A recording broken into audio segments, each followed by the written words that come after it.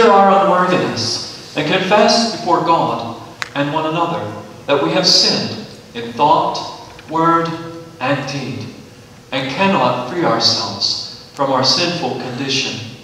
Together as His people, let us take refuge in the infinite mercy of God, our Heavenly Father, seeking His grace for the sake of Christ, and saying, God, be merciful to me, a sinner.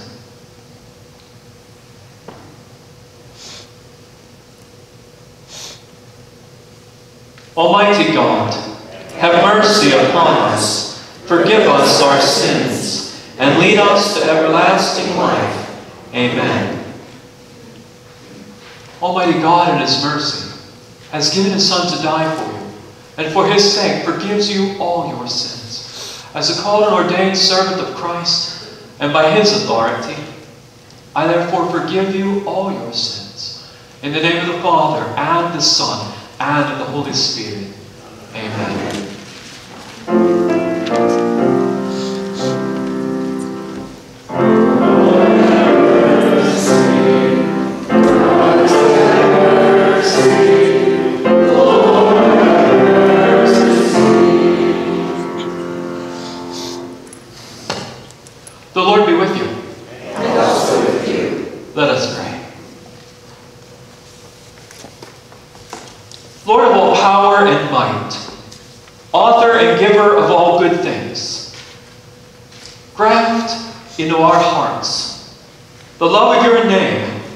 And nourish us with all goodness, that we may love and serve our neighbor.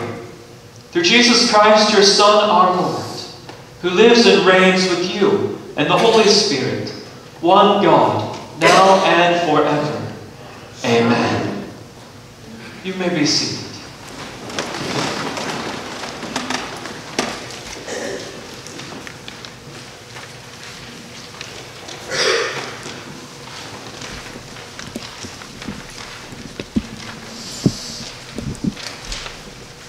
Our first lesson is taken from Paul's letter to the church in Galatia, chapter 5.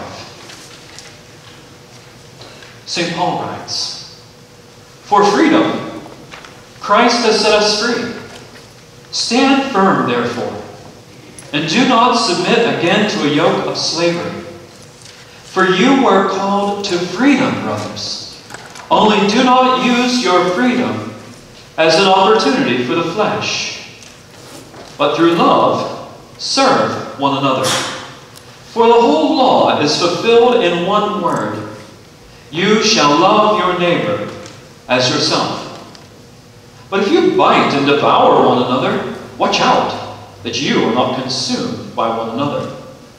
But I say, walk by the Spirit, and you will not gratify the desires of the flesh. For the desires of the flesh are against the Spirit, and the desires of the Spirit are against the flesh. For these are opposed to each other, to keep you from doing the things you want to do. But if you are led by the Spirit, you are not under the law.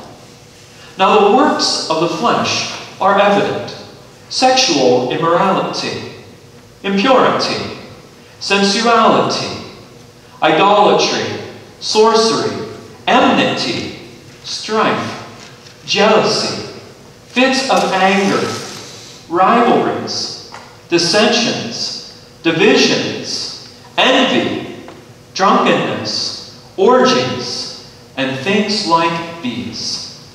I warn you, as I warned you before, that those who do such things will not inherit the kingdom of God.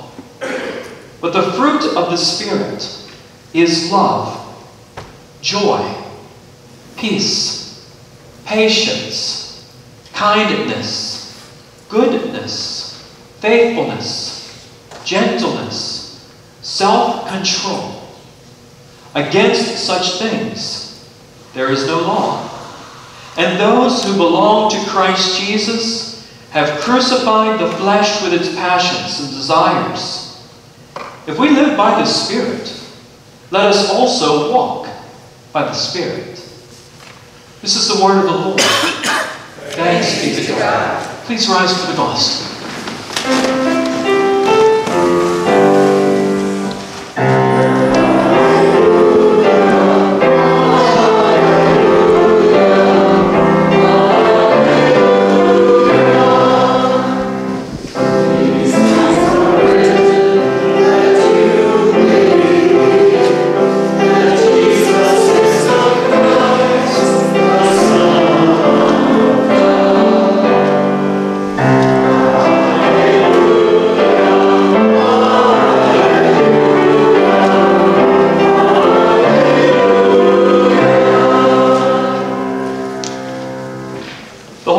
Gospel according to St. Luke, in the ninth chapter.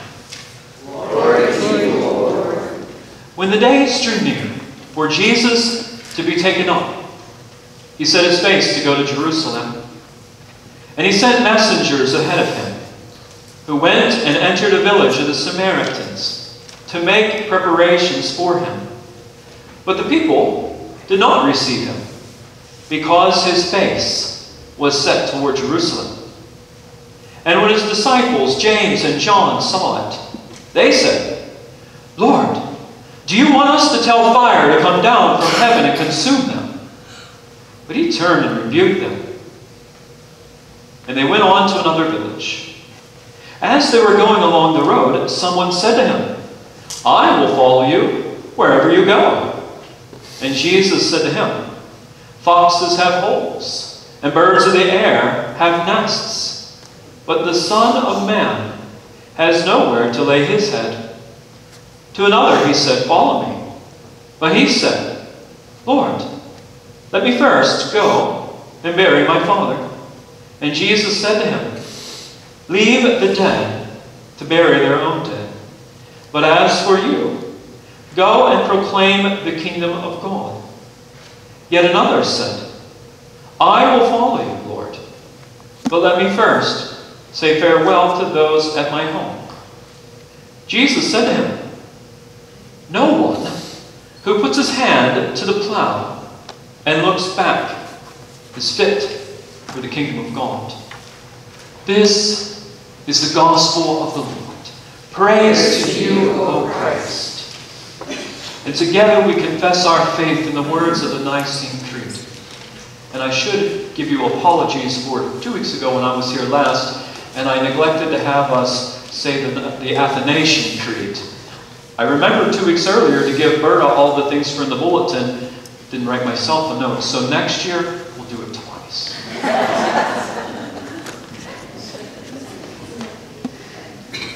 I believe in one God, the Father Almighty, maker of heaven and earth, and of all things visible and invisible, and in one Lord Jesus Christ, the only begotten Son of God, begotten of his Father before all worlds, God of God, light of light, very God of very God, begotten, not made, being of one substance with the Father, by whom all things were made, who for us men, and for our salvation, came down from heaven, and was incarnate by the Holy Spirit to the Virgin Mary, and was made man, and was crucified also for us under Pontius Pilate. He suffered and was buried, and the third day he rose again, according to the Scriptures, and ascended to heaven, and sits at the right hand of the Father.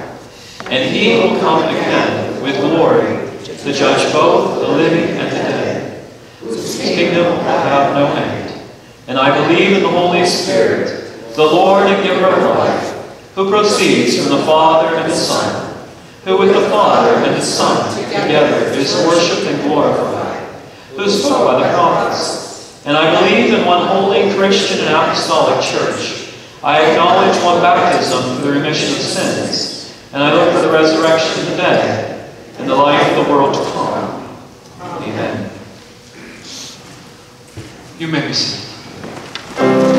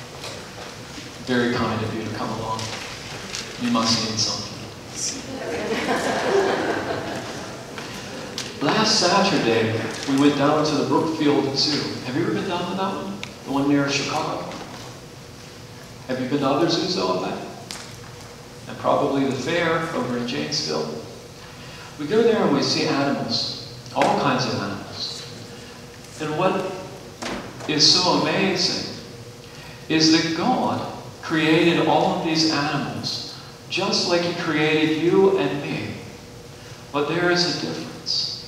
What do you notice that's different between animals and us? What do you think? They have no sin. They, she knows that because we've talked about this. I have a little beagle dog that drives my wife crazy. And I remind her that he's the only one in the house who's not a sinner because he's not. He has no sin. Animals are not under the curse of Adam and Eve. They are not born sinners, and so they don't sin. We are. There's another important difference, and that is we are created in the image and likeness of God. We learn that in Genesis chapter 1. They are not. They, of course, are God's creation. But we are created like God. Not the same as God, never even remotely close to equal to God, but we bear His likeness. There is His being and doing in ways that are a part of us. But, as you say, because of sin, we are corrupted. And we do not always bear forth that image and likeness. But here's the important part of this. Because you are created in the image of God, you are valuable. You are important. Because of that alone. It's not because you accomplished a lot of cool stuff. It's not because you always listen to your parents and authority figures and do what you're supposed to do. It's because you are created in God's image. You bear His likeness. So you have value. Never let anyone tell you that you are not important, that you do not have value. Because you are created in God's image, you are valuable. In your baptism into Christ, you were also adopted as the Heavenly Father's sons and daughter. You're an adopted child of God. You are brothers and sister of Jesus. And so all of the things that belong to Jesus belong to you. The kingdom of God is yours, and you shall live in it in eternity. For the Father who has made you, through his Son's death upon the cross, has paid for your sins. That the Holy Spirit has put faith in your heart, that you believe this, that Jesus died in your sins, or died in your place, answered for your sins, so that you shall live in heaven with him forever. But because God, through Christ, is redeeming the whole world and all creation, the animals will be there as well. Let us pray. Kind Father, we live in a day and age in which there is much anger and fighting between people, particularly in our own society.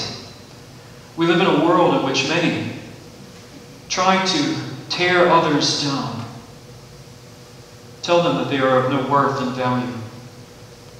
Father, remind us always that everyone created in your image and bearing your likeness is of incredible worth because they are created in your image and likeness.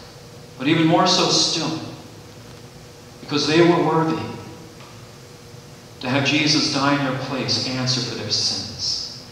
In the name of Jesus we pray. Amen. Have a great week.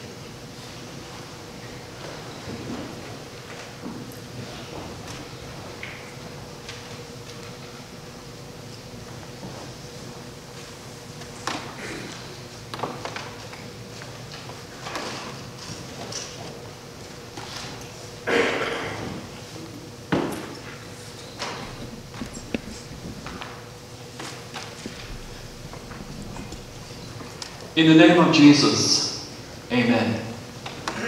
This morning's gospel lesson from Luke chapter 9 is one of the more complicated lessons in the whole gospel of Luke. As we read it, it is not uncommon to find ourselves having more questions than answers. There are a lot of things that happen in this very short passage that leave us scratching our heads and wondering. There are three points, three takeaways that we receive in this passage that I want to highlight this morning. The first is that because God never gives up on people. We should never give up on people.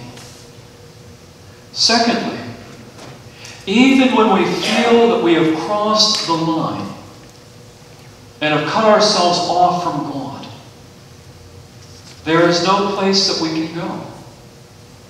To be outside of the reach of the forgiveness won through Christ's shed blood on the cross. And in the third place, following Jesus means that He, not us, sets the agenda. We do not get to determine what our discipleship will look like.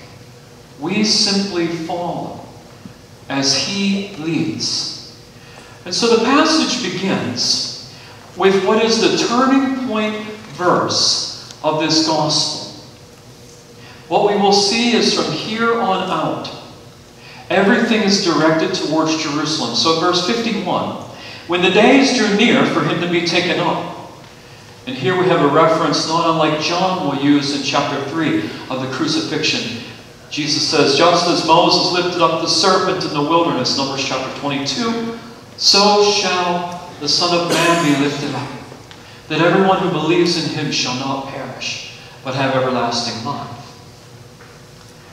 So when the time comes for him to be taken up, he set his face to go to Jerusalem. Sort of an odd phrasing. But the emphasis here is not simply that he planned to go, but that he was resolute in his plans to go to Jerusalem. He set his face to Jerusalem, and there's not a thing that can sidetrack or divert him from going to Jerusalem. This is the Father's will for him. This is the will from the very beginning, before the foundations of the world, that Christ Jesus, being born one of us, would die in our place, answer for our sins. And so nothing will sidetrack and divert him from going to Jerusalem. And so from here through chapter 18, they're on the way. We call it the travel narrative. And this is where we get some of the most familiar passages of Luke's Gospel. We have at 19, which is one chapter ahead of 18, so you can include 19 in the travel narrative. All right, the truth is, it is chapter 19, but I got confused. 9 through 19 is the travel narrative. As soon as I said Zacchaeus, I knew I was in trouble. But we have Zacchaeus at the end. But before we get to Zacchaeus, we have the parable of the Good Samaritan. We have Mary and Martha. Both of those are in chapter 10. In chapter 15, we have the parable of the lost things a lost sheep, a lost coin, and two lost sons, also called the prodigal son. And so Jesus sets his face towards Jerusalem. They're traveling. He is teaching. And the first stop on the way is Samaria. Because they are in Galilee. And they're headed towards Jerusalem. Now, you always go up to Jerusalem. It doesn't matter if you start out on Mount Everest or Mount Kilimanjaro. You go up to Jerusalem. It's symbolic. And so if you're reading in the Psalm, sometimes you'll see a psalm of ascent. For example, Psalm 121. I lift up my eyes to the hills. Where does my help come from? And you say, what is a song of ascent? It's simply one of the songs that they would sing when they would make the yearly pilgrimages thrice a year to Jerusalem. You go up, ascending. Even if you're coming from Galilee, which topography will tell you is going down. But there's more to this heading to Jerusalem business. You need to pass through Samaria, which is not Israel. They are the cousins of Israel, and they are, at this point in history, basically the avowed enemies of Israel. So typically, if you would travel from Galilee in the north to Jerusalem in the south, you would go down a little bit southward, cross the Jordan, scoot the rest of the way south on the other side of the Jordan River, and then cross back over to Jerusalem, just avoiding the Samaritans completely. They were cousins. These were the ten tribes of the north with their capital at Samaria. But they changed, twisted the religion of the Jews. They said, first and foremost, there's one Bible. It's the first five books, that's it. And then they went in there and they changed some things in there. For example, it, we read in a few places that the worship of God is to occur in Jerusalem. Well, Jerusalem isn't a part of their country. So they just broke out the, the eraser. And they wrote in Mount Gerizim, which was in Samaria. And they said, see this? We are worshiping God as we're supposed to. Not like those people in the south. That's what's going on when Jesus is talking to the Samaritan woman in John chapter 4 at the well. And she says, Well, we worship on the mountain, but you say that we must worship at Jerusalem. She is alluding to this big difference in how they believe. And what's more, when they were in exile, the northern kingdom was exiled about 100 and some years earlier by Assyria, and they intermarried. The southern kingdom was exiled by the Babylonians and did not intermarry. So when they all returned to the land, later on, 70 years later, the people in the southern kingdom, they say, we don't know who those people are. We have no idea who they are. Hence, you hear about the lost tribes of Israel.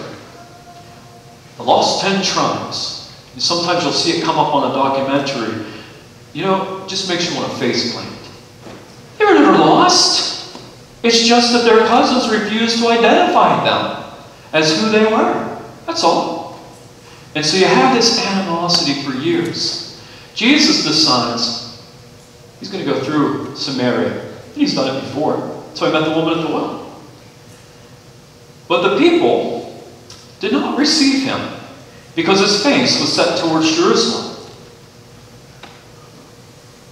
The bottom line is they don't like people going to Jerusalem.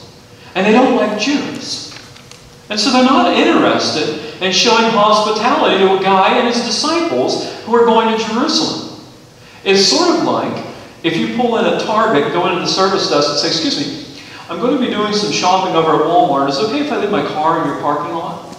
They don't want that. That's the rival. Same thing. And so this is when it gets good. And when Jesus' disciples, James and John, saw it, they said, Lord, do you want us to tell fire to come down from heaven and consume them? It's just laughable. It's laughable. As you read the gospel lessons and you see how on one occasion they are unable to cast out a demon from a young boy.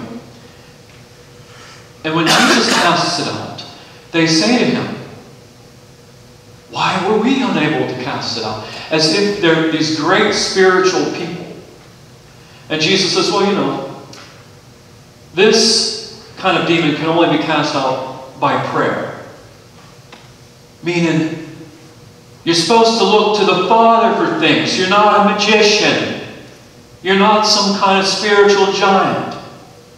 So, given their track record in many other places, the reader must conclude they don't have the capacity to call down enough hellfire to touch off a July 4th sparkler. Not at all. It's laughable. But the intent is scary. The intent is scary. They couldn't be any farther from Jesus' agenda. He comes to seek the lost to forgive sinners, to make a way for restoration of the relationship with the Father. And these guys, they want to see them all killed. Okay, they won't welcome you. Let's destroy them. Let's annihilate them. Let me get a flamethrower from heaven and wipe them out. Now, before we look at Jesus' response, I just want to point out to you that Jesus is operating in a world before headache medicine. There is no Excedrin, no Advil, no Aleve, no Anacin. He's got to deal with these guys without any kind of headache medicine. But he turned and he rebuked them. It doesn't say what he said. Something perhaps along the line Have you lost your mind? Have you lost your mind? They won't welcome us, so you want to kill them? What we discover later in Luke's second book, the Acts of the Apostles. Look at chapter 8. What you see is Philip, one of Jesus' disciples. Philip makes his way down to Samaria. This is after Jesus' death, resurrection, and ascension. And he sends them out by the power of the Spirit. And he preaches the good news that Jesus the Christ has died in their place, answered for their sins, and they believe it. They believe it. And they trust in Jesus. Their souls have been redeemed for eternity. But it would never happen if these blockheads had had their way. They would have been sent to their death before receiving. God does not give up on people, and neither should we. You know people in your life who do not trust and believe in Jesus. If you do not, you really need to get out and meet some people. There's a lot of them. And I hope that you're praying for them. Your role is not to cram Jesus down their throat. That doesn't work. Otherwise, everyone who has ever watched religious programming would have come to believe and sent all their money to these guys. It doesn't work. Your role is to share with them the importance that your faith in Christ makes in your life and the fact that Jesus has died in their place also. Beyond that, beyond being a good friend, modeling what it is to follow this Jesus you are to be praying for them, praying for their conversion. And if you are praying, don't give up so easily. Don't say, well, you know, I prayed for two months and they're not come to the faith. I guess it's not going to work for them. It's just not for them. Persistence in prayer, not giving up on them, and not becoming angry with them and say, well, you know what? If you're not going to accept my efforts on your behalf, forget you. God doesn't forget people. God doesn't give up on people. You shouldn't either. And the second point here, a lesson about you and me and all people from the Samaritans that Jesus does not crush because they were unwelcoming, is that there is really no place that we can go that puts us out of the reach of the grace of God. I mean, these folks, they were pretty far off. They cut off most of the Old Testament, said we'll keep five books, and we're going to change some stuff in here that we don't like. And then they decide they're going to hate on the rest of God's people. And Jesus spares them that the Holy Spirit, working through Philip and others, might work faith in their hearts and they too will be saved. What a surprise when those who came to believe in Jesus from the southern kingdom among the Jews go to heaven and see there the Samaritans who also came to faith in Jesus by the power of the Spirit. That's how the kingdom of God works. That's what the reign of God looks like. Don't give up on people because God doesn't. And don't give up on yourself. Don't believe you have crossed some line that cannot be uncrossed. Because the power of the reach of the cross is such that it goes to any length to bring you back.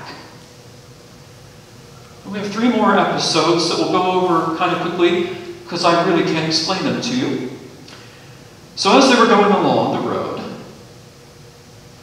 someone said to Jesus, I will follow you wherever you go. Kind of nice. He's not very popular, so they wouldn't even receive him. The Pharisees are trying to figure out how to kill him. And so this guy says, I will follow you wherever you go. Jesus' response is a little bit mysterious. He said to him, Foxes have holes, and birds of the air have nests, but the Son of Man has nowhere to lay his head. You say, What? Um, what? He says, I'll follow you wherever you go. And you say this? Yes. Remember, his face is set towards Jerusalem. He's going to the cross. And he wants everyone who will come to him to understand that following him means sacrifice. Following him means giving up many of the luxuries and pleasures of this life. Following him is filled with uncertainty. If you're going to follow me, be prepared for this. Just as he says elsewhere. Anyone who would come after me, let him take up his cross and follow me. The next situation. He says to another, Follow me. But he said, Lord, let me first go and bury my father. Jesus responds, Leave the dead to bury their own dead. But as for you, go and proclaim the kingdom of God. Sounds a bit harsh, huh? As I said earlier, I can't explain these. I can give you some suggestions for thinking about them. That's it. Suggestion one. In many burials in the Near East and among the Jews, there were two stages of entombment. The first is you lay the body in the tomb. After nature has run its course, you go back a year or so later and you pack up all the bones in what I call a bone box. It has an actual name and I can never remember it. And they found the bone box of James, uh, the Lord's brother, about 10, 12 years ago. And it, yeah, it has a special name. You can Google it. Perhaps I should Google it. But in order to make more space in tombs. You collect the bones, you put them in this box, and they take up a lot more, a lot less space. So maybe the father has already died and is in the tomb, and he's talking about the secondary burial. Somebody else can take care of that. Secondly, at the end of the day, what can he do for his father, really? His father's dead. There's not another thing he can do for his Father. But to speak to others about the coming reign of God in Christ can save people's eternity. Compare them. This is another lesson. When you're strapped with crazy wishes from people who have died. You know, people say, now, when I die, I want you to do thus and so. Sometimes people don't want to do those things, but are deeply troubled about those things. It's my job to give them permission to ignore the last wishes. It's my job sometimes to do it for them. For example, many times I've had families come in, mom or dad or Uncle Fred didn't want any kind of a funeral, but we feel kind of badly not having a funeral. We feel like, you know, we need that closure. So. And I said, no problem. Let's have the funeral. And we'll say it's my decision. And they can come back on me if it's a problem. Third suggestion as we look at this instance. Third suggestion. Most important. This is based in fact, not my guessing. What does he say to Jesus? First, let me go and bury my father. That's the problem. That's the real problem here. He's setting conditions on how he will follow.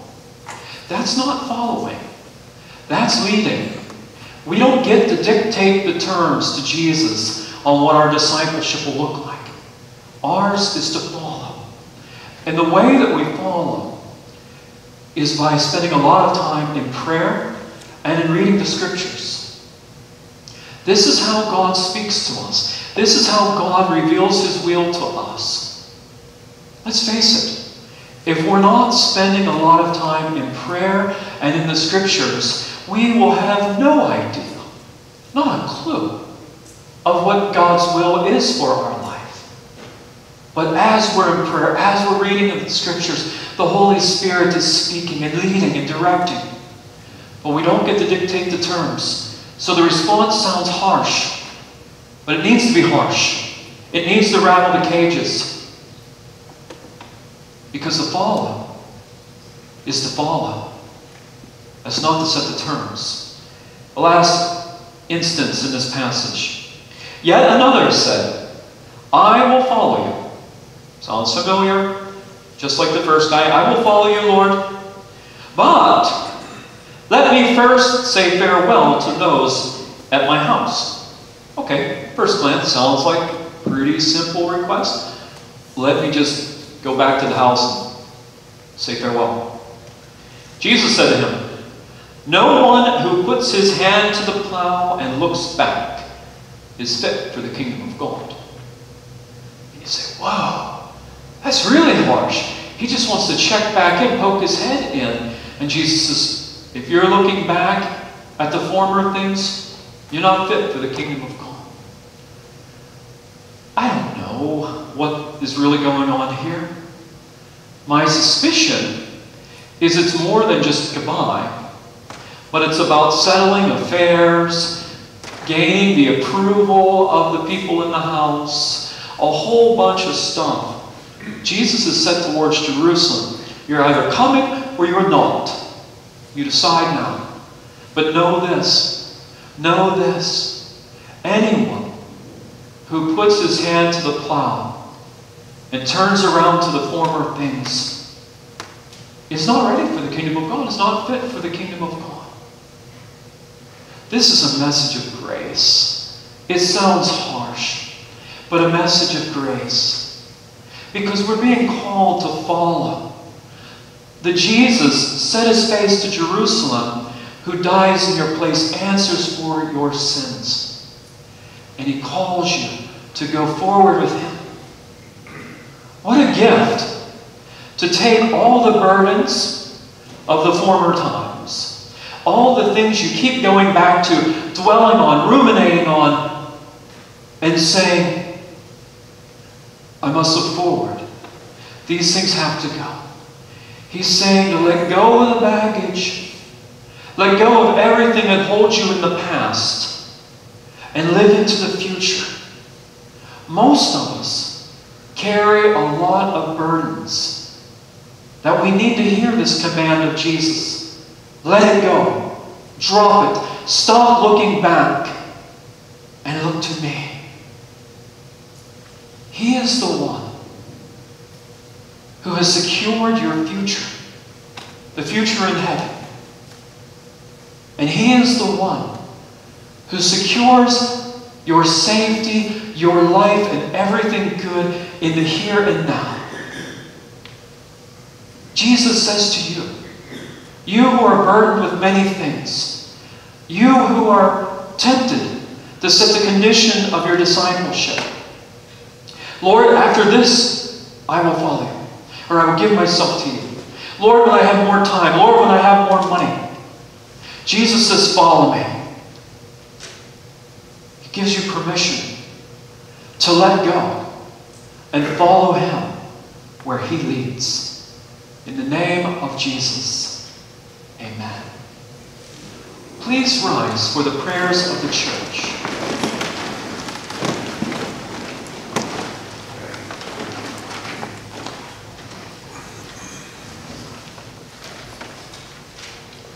Let us pray for the whole church of God in Christ Jesus and for all people according to their needs.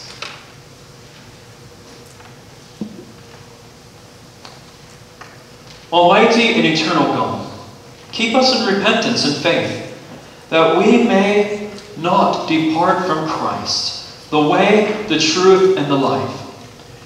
Bring to repentance all enemies of your church and those who do not yet know you, that by faith they may confess Jesus Christ as Lord with us and amend their lives by the power of your gracious Spirit. Give us courage for the path set before us, that we may not faint or grow weary, but endure to the day of Christ's coming and receive the blessed, well done of your favor when we enter through Christ to everlasting life. Lord, in your mercy. Hear our prayer. Father, lend your grace and spirit to the nations and those who lead them, but especially to our President, the Congress of these United States, the Governor, the Legislature, and all who make, administer, and judge our laws. Teach us to contend for the faith within the public square, so that your voice may be heard by all people. Inspire and equip us by your Spirit, that we may be led to every virtue and character and holiness of life. Father, as our nation this week remembers our struggle for independence from Great Britain, Father, we pray that you would indeed inspire in us a greater appreciation for the sacrifices that others have made for the sake of our freedom. Lord, in your mercy. Hear our prayer. Merciful Father, defend us from all disaster, both natural and man made, from scarcity and famine, from war and violence, and from every danger. Give to the land fruitfulness, and prosper all lawful labor, that the hungry may be fed, the homeless given shelter, the abused safety, and the poor relief. Bless those whom we have named on our prayer list, and those we now name in the thoughts of our hearts. Lord, in your mercy, into your hands, O Lord, we commend all for whom we pray, trusting in your mercy through your Son, our Lord Jesus Christ. Amen. You may be seated.